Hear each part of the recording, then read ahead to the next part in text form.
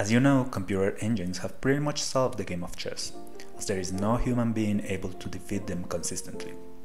That's why we use them to evaluate games, since they know exactly what to do to win and they make virtually no mistakes.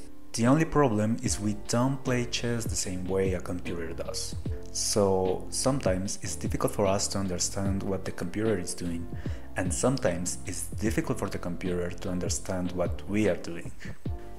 When reviewing games years ago, annotators used to place symbols next to a player's move to sign significant game events. A great move that turned over a losing game, an unfortunate mistake that decided the match, or an idea so subtle, so difficult to find, yet so powerful that their opponent couldn't expect it. A brilliant move. I bet you can see from that description the first challenges when deciding brilliancy. Judging a move as brilliant is ambiguous and quite subjective. Chess.com players are familiar with a range of move classification in the automatic game reviews. Other platforms stay on a more discreet commentary when providing automatic game reviews. While as for chess.com, they have not made public the exact criteria on which their system decides whether a move is brilliant or not, but they have an extensive description in their support page for their classification of moves. They use a system they call expected points that they describe as follows. Expected points uses data science to determine a player's winning chances based on their rating and the engine's evaluation, where 1 is always winning, 0 is always losing, and 0.5 is even.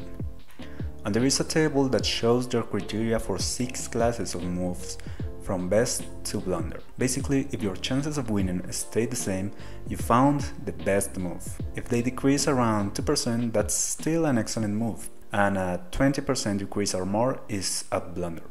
Why are there not brilliant and great moves in this table? Well, that's because it's easier to say, hey, you made a blunder, than saying, hey, that was brilliant.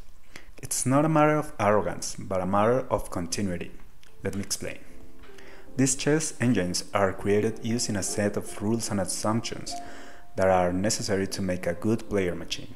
To make a good player machine, you want to make sure it plays perfectly. And to make sure it plays perfectly, you assume their opponent is the best possible, that is, a perfect opponent. Therefore, this is an implicit assumption, which name is, you guessed it, perfect play. But size always choose the best move. The huge depth of the evaluation implies continuity with respect to the development of the game. That is, Evaluation should not change much between a small number of moves. It's not natural that, for example, white makes a move and suddenly the evaluation changes abruptly in his favor. So when machines play, evaluation is continuous, because perfect play implies continuity. But when people play, there are discontinuities. This is why it's so easy for the computer to tell you when you messed up because it suddenly found an abrupt change in evaluation. On the other hand, when you are doing very well, the computer will only see continuity, that is, the evaluation stays the same.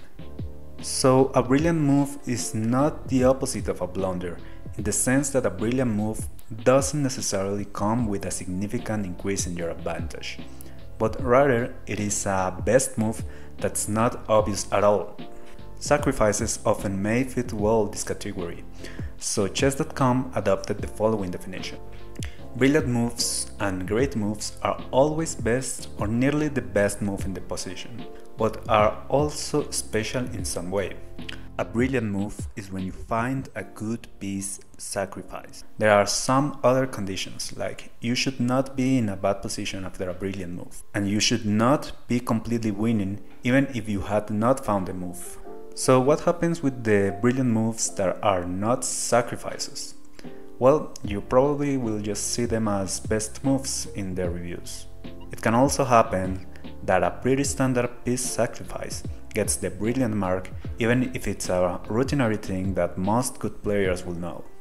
It's also worth mentioning that high-rated players will face more rigorous criteria to have moves marked as brilliant than us low-rated players. It's kind of disappointing that in chess it's so easy to find your mistakes and point them out, while it's so difficult to recognize your best moments. But I hope now you will get a clearer idea of what is the meaning of those marks in your game reviews, and maybe this will help you get better insights from your games. Thanks for watching.